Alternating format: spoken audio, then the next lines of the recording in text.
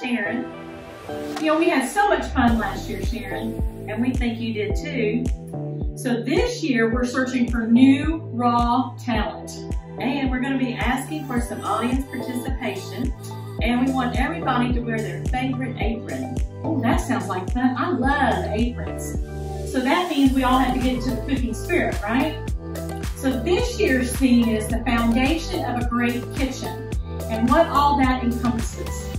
So I want you to come on out on Tuesday, November the 1st at 6 o'clock p.m. This is a free event and we will serve a light dinner and we might have some samples if they'll let me. But I'm working on that. That sounds great, Sharon. So we look forward to seeing everybody. All right, y'all come.